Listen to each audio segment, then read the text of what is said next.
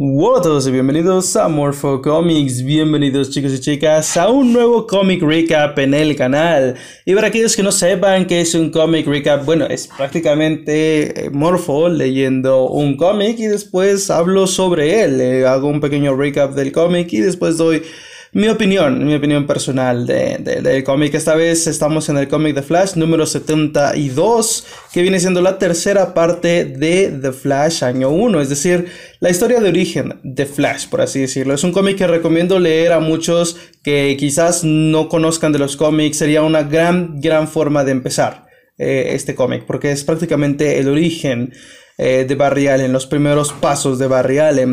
Y pues ahora continuamos en donde nos quedamos. La última vez Barry estaba a punto de enfrentarse a la tortuga, el hombre más rápido del mundo contra el hombre más lento del mundo. Esto debería terminar bastante bien, pero por alguna razón no. Y es que bueno, la tortuga obviamente era un villano bastante culero de Flash, pero al parecer ahora lo hicieron genial, porque obviamente tiene esos poderes de poder alentar todo a su alrededor y robar la velocidad de antes, cuando en el primer cómic de Flash simplemente era un hombre súper lento.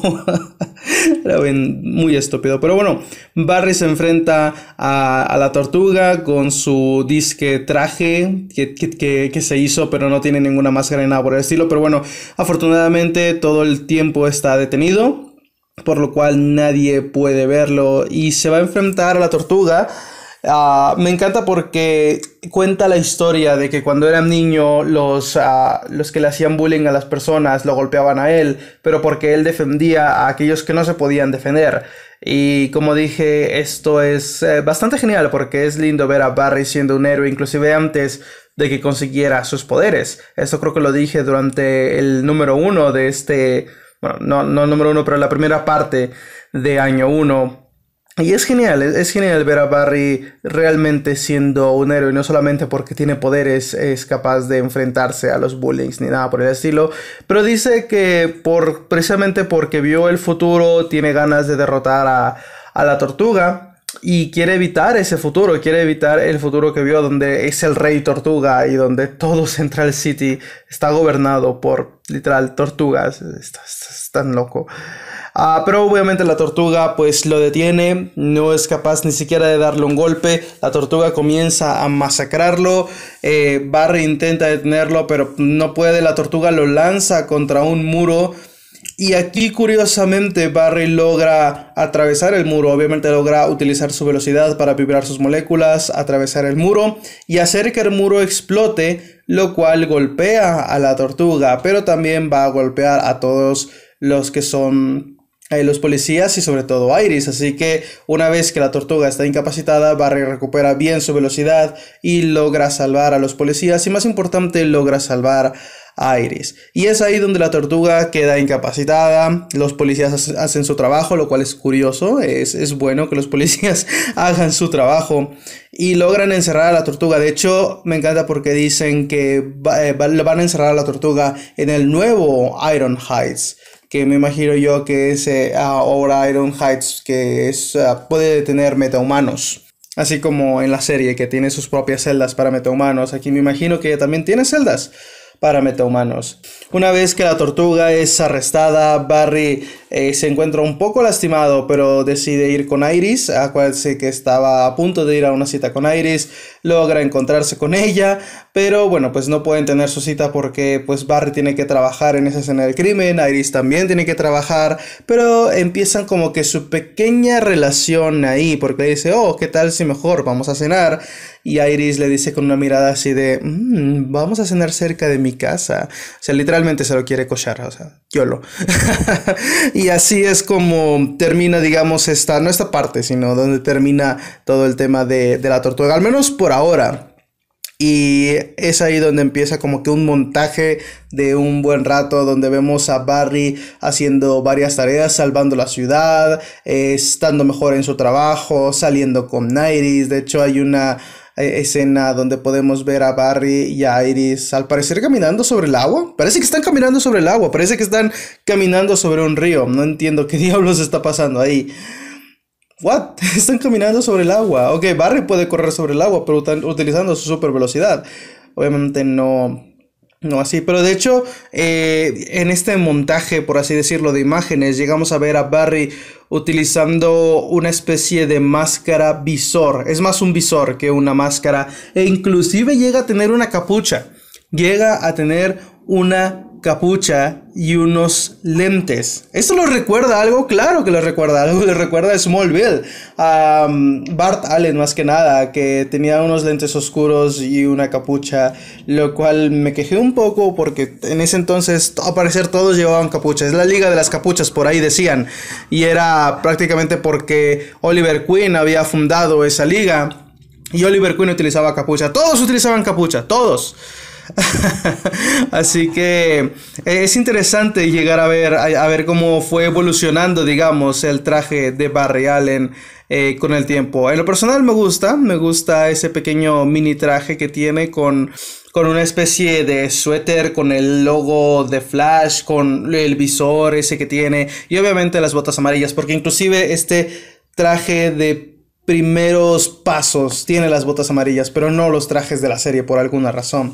Y de hecho dice que empieza a dejar su marca ahí, su marca de, eh, del símbolo de Flash, que obviamente después iba a limpiar, simplemente era para decir, oh, ¿sabes qué? Pues soy Flash y estoy salvando la ciudad, estoy aquí para detener a los criminales. De hecho, eso me gusta porque también me recuerda a Smallville, creo que fue en la temporada 9 o 8 o 9, no me acuerdo, cuando eh, Clark empezaba a dejar su marca de el símbolo, literalmente el símbolo de Superman, el símbolo de su familia, empezaba a dejarlo en los lugares donde salvaba a la gente. Creo que fue en la temporada 9.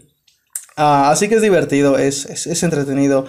Y después llegamos a ver a Barry estando trabajando en el anillo de Flash. De hecho, dice que necesita una forma, una mejor forma, una forma más rápida de poder ponerse el traje para poder así salvar vidas. Y de hecho vemos, lo vemos trabajando en el, en el perdón, en el anillo de Flash. Eh, pero después llega Iris, lo entretiene, me encanta que tiene un literal un basurero dentro de su apartamento, pero con la velocidad pues simple y sencillamente puede hacerlo todo, limpió el departamento, inclusive trajo una rosa y todo eso y estaba listo para Iris. Empiezan a hablar y de hecho Iris habla sobre sus sobrinos, habla sobre sus sobrinos en general, en, en plural, perdón lo cual obviamente se refiere a los dos Wallys, a Wally West y a Wallace West. Lo curioso es que supuestamente en esta línea temporal no debería existir Wally West, solamente Wallace West, o al menos Iris no sabe quién es Wally West.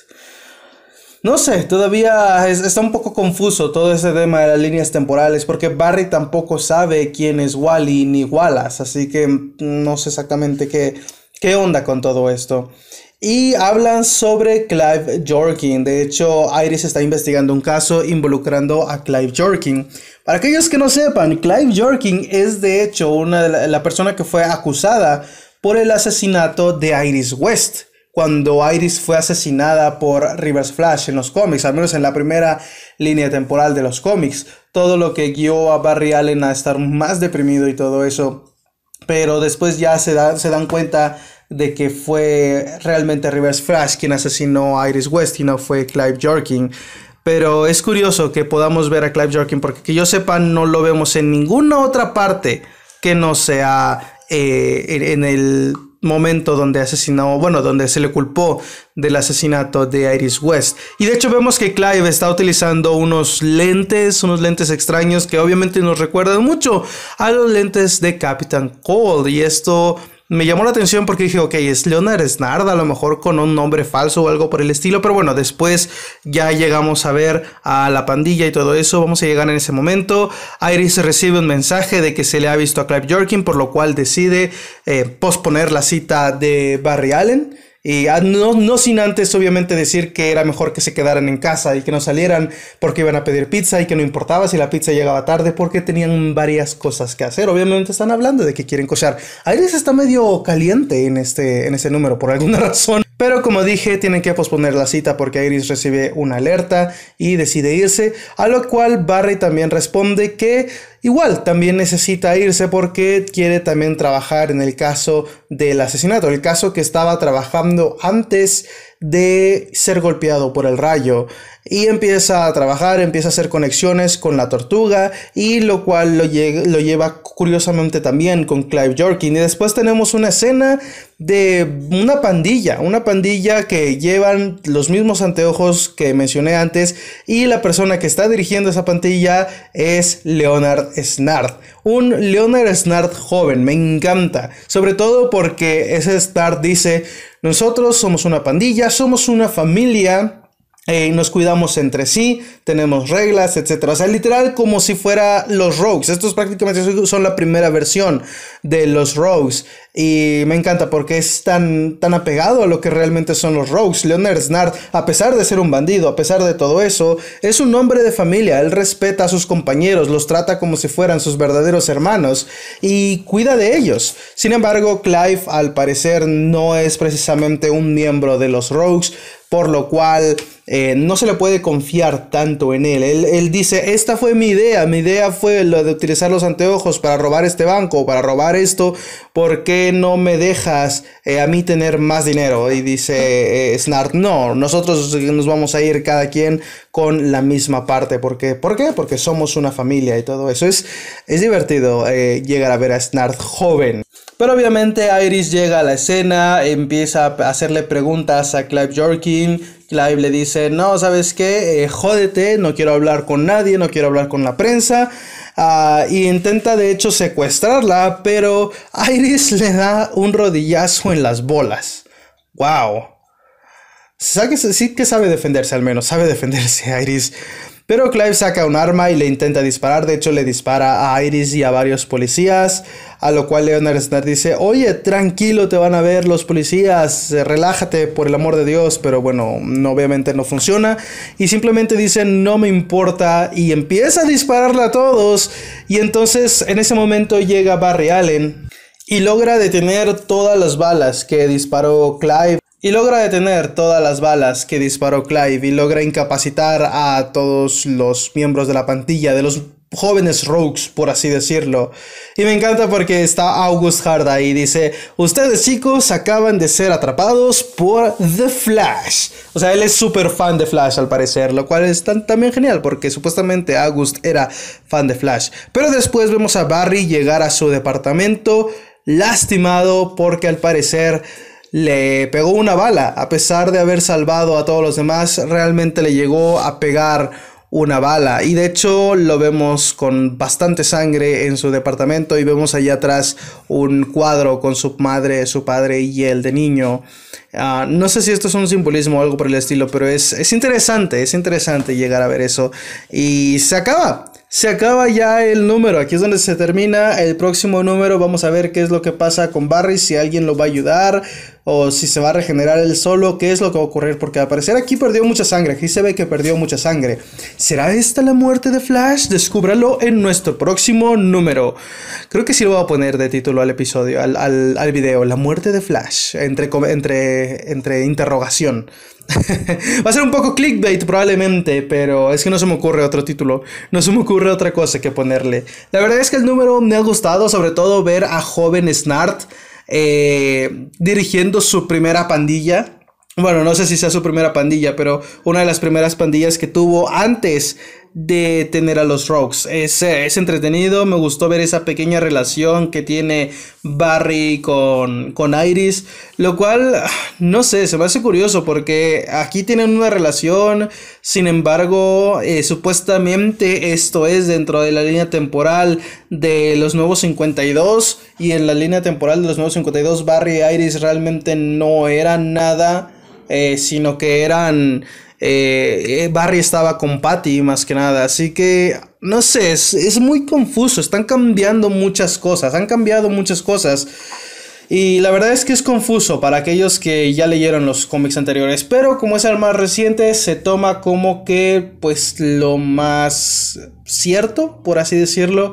Así que sí, les recomiendo empezar a leer este cómic. Si quieren empezar a leer los cómics de Flash, si quieren conocer el origen de Barry, en los cómics de Flash. Este, este cómic es bastante divertido, pero igual hay muchas referencias a todo lo que es The Flash Rebirth principalmente, por lo cual también recomendaría empezar a leer desde The Flash Rebirth número 1 que fue el que salió en 2016, hace ya tres años, wow, hace casi tres años, porque salió creo que en julio, junio o agosto, no me acuerdo, pero hace ya casi tres años que salió eh, The Flash Rebirth número uno. Así que bueno chicos, eh, hasta aquí el recap de este cómic, como dije, me ha gustado. Ah, siento que bajó un poco de tono, digamos, pero este final con Barry ensangrentado, al parecer estando a punto de morir, Ah, me llama la atención, quiero saber exactamente qué es lo que va a pasar al final. Espero les haya gustado, no olviden dejar un like, suscribirse para que no se pierdan próximos videos de cómics, de eh, Flash en general también, porque el día de mañana creo yo voy a subir mi reseña del, a final de media temporada de, de la primera temporada de Flash. Y estoy ansioso por, por hacer esa reseña. Un saludo a todos y nos vemos en un próximo video. Hasta pronto.